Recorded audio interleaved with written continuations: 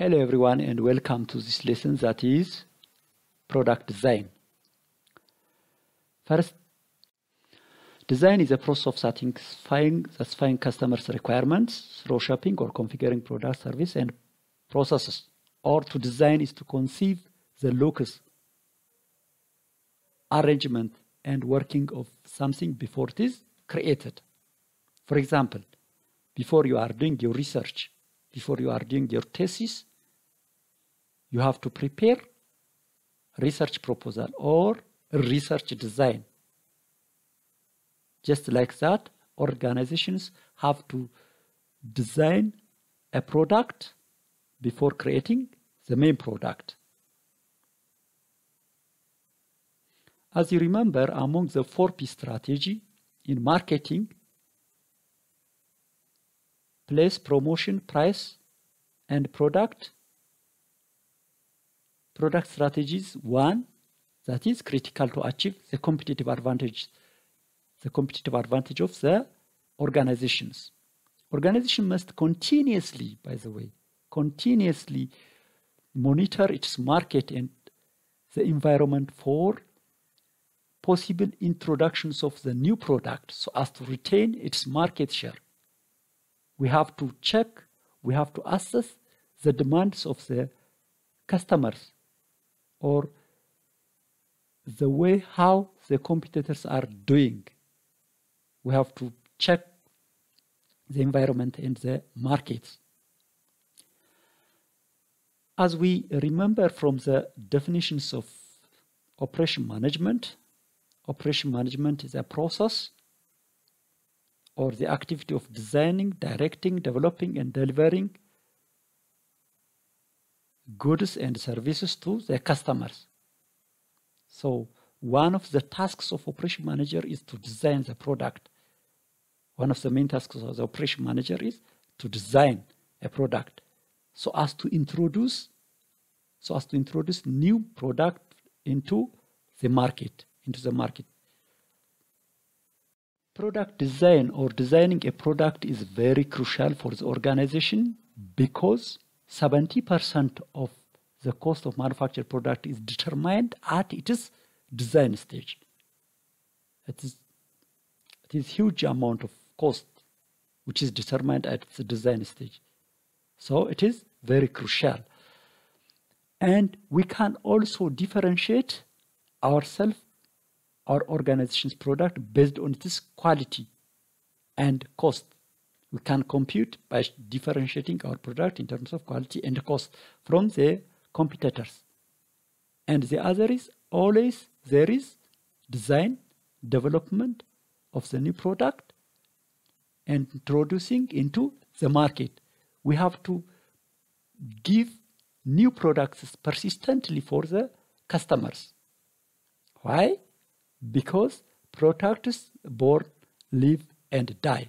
Just like human being, the products can also born, live, and die. That means there is limited life cycle, limited lifespan.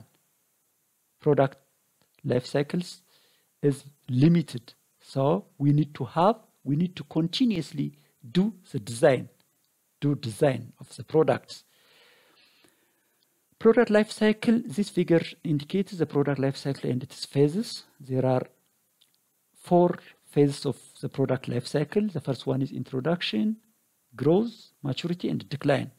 In these four stages, the cost of development and production is initially high and the sales revenue is initially low and there is negative cash flow here. Here there is negative cash flow. And after that, the cash flow starts to grow and at decline stage at the at this point the cash flow starts to, to decline. The net revenue starts to decline. That means the profit. So here there should be an introduction or there should be a new product which can replace the old product, the old product.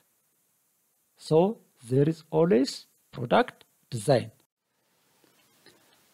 And the other point is the rate of maturity stage depends on technology, level of competition, rate of obsolescence, culture, taste of preference. In general, products have limited lifetime.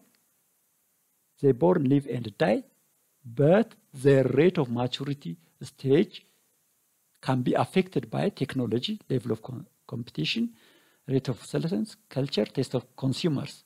This can affect the rate, the speed of maturity. By the way, some product may have limited life cycle. For example, a newspaper may have a life of a few hours. Seasonal fashion, for example, clothes, seasonal clothes may have months. Some cassette may have years, years of lifetime. Some phones may have some Samsung mobile or iPhone mobile may have a year, a year of lifetime, and a vehicle may have a year or two years lifetime, and after that they can they should be replaced by a new product, a new versions. Otherwise, it will be out of the market, out of the market. In general, operation managers design a system that helps to introduce new products, new products successfully. Otherwise, the firm may lose the market. The firm may, may lose the market. Product design have to fulfill the following. The first one is, is it should satisfy the customers.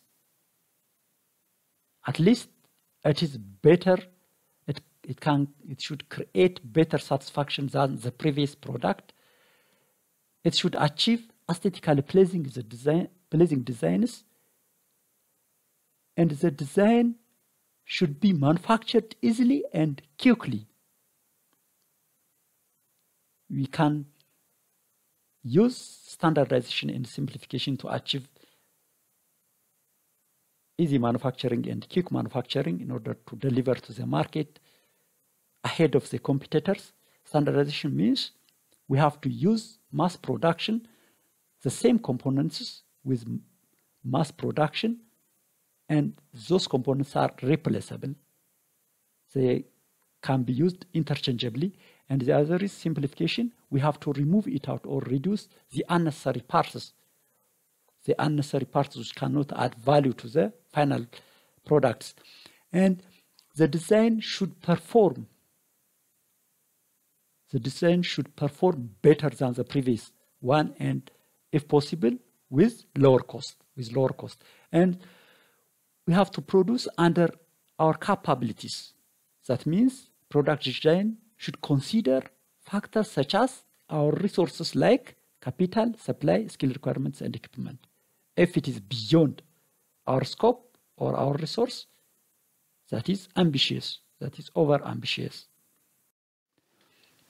here is a product design process. The first one is idea generation. Idea can be obtained from different sources. For example, suppliers, our suppliers may provide some ideas for our new product design. Our marketing department, because our marketing department can can have contact with can have frequent contact with customers so they may know the problems or the suggestions of the customers so they can get ideas, research and development. Their main task is to give solution for the problems or, uh, and they can create new ideas. So we can use that as a source of ideas and even the competitors through the techniques of reverse engineering. Reverse engineering, we can get idea from the competitor's product even we can contact the customers directly. We can get their feedbacks or we can get from their complaint. We can get from their complaint on our service or goods. So here we can get a lot of ideas, several ideas here, and not all the concepts or the ideas can further develop into service or products. We can filter it out. We can filter it out through different criteria. through feasibility study, we can conduct feasibility study so as to select the ideas. We have to screen it out. And after that, we have to prepare preliminary design. After preliminary design, we have to evaluate and improvement. We have to evaluate, and after that, we incorporate improvements and we finally prepare prototype for pilot test. The prototype may have a model of clay to a computer simulation. Then after successfully accomplishing the test, we can produce a new product or we launch our service, new service. This is some more detail about what we discussed in the previous speaker. The concept screening, the purpose of concept screening is to evaluate the concepts, different concepts that is generated by uh, generated from different sources by assessing the worth or the value of the design options against a number of parameters or design criteria. Feasibility, can we do it based on our organizational capacity, resource, skill, finance? Can we do it? Some ideas may be over ambitious, so we can ignore that. And acceptability of the design options with our customers. Can our customers accept our design options? That should be also considered. Does the option satisfy the performance criteria? The performance criteria is the main thing.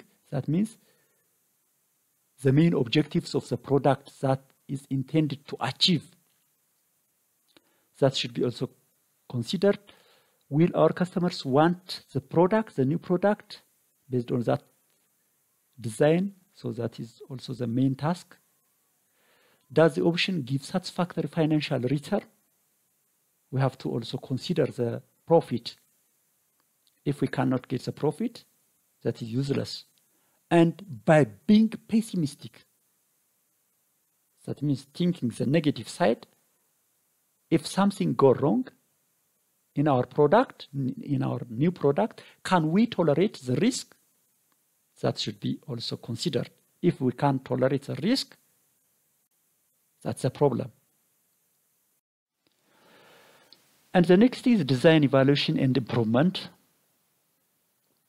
After we have, after we prepare preliminary design, we have to e evaluate that design and we need to incorporate the improvements.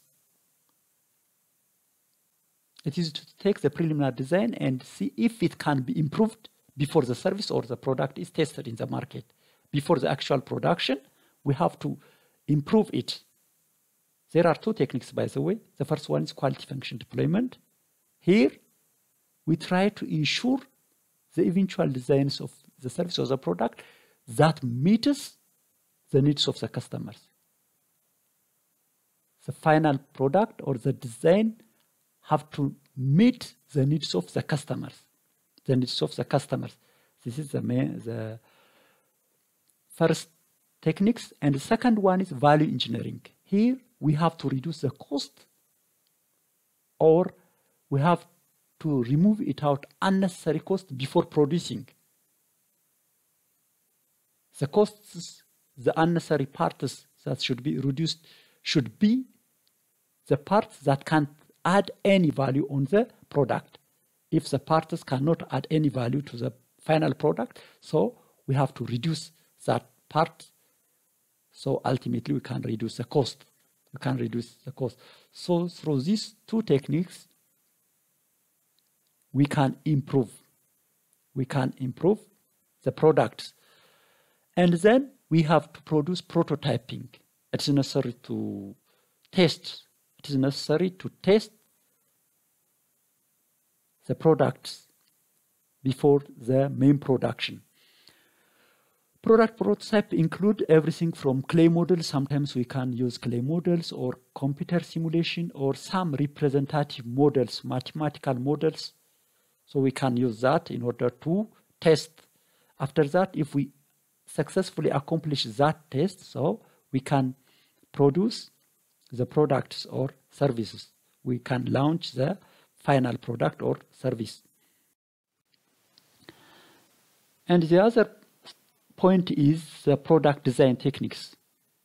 There are a lot of product design techniques, but here we only see the three techniques. The first one is robust design. Actually, the products can do their action or can do their uh, uh, can do their activity on normal conditions. We consider normal condition for the products. For example, a mobile can do its work in normal conditions, maybe in normal room temperature or in a range of temperatures, but may not work in water. A mobile cannot work in water, and some mobile which has waterproof features can work. So that design is called robust design. The design, the product or service that can function over a broad range of conditions. That means in abnormal conditions, in abnormal conditions. A phone with waterproof cap, uh, waterproof features can work in waters. And the second is modular design, a form of standardization in which component parts are grouped to form modules, to form modules, which can easily replaced. The modules can easily replaced with equivalent modules. For example, the power box of your PC has different components which form power box module, and if if the power box fails, so we can replace with equivalent power box for your PC. And the motherboard of the computer is also another example of modular design. We can replace if the motherboard of the computer fails. There are different components in the motherboard of the PC which can form the motherboard that is modular. That is a module. And the last one is computer aided design. Computer aided design is we are using computer in order to do a design. We, we can use computer uh, graphics, for example, graphic softwares, for example, AutoCAD, ArchiCAD, and so on in order to design buildings, in order to design bridges and, and so on. So we can use computer graphics or computer softwares in order to make a design in order to make a design. Here is the last section, by the way. In this section, we discuss about product design and the other section is process selection or process design. By the way, product design can go along with process design. For a new product design, for a new product design, there should be a process design which is compatible, which can create that product. So there is interaction. That means product or service design has an impact on the process design and vice versa. They affect one with the other. Here, there is designing of the product or service. Products and service should be designed in such a way that they can be created effectively. And here, process should be designed so they can create all the products and services here, which the operation is likely to introduce. So they can they cannot go separately. They can't go together. We cannot isolate product design from process design. We will discuss about process design in the next lesson. So till then, have a good time. Bye.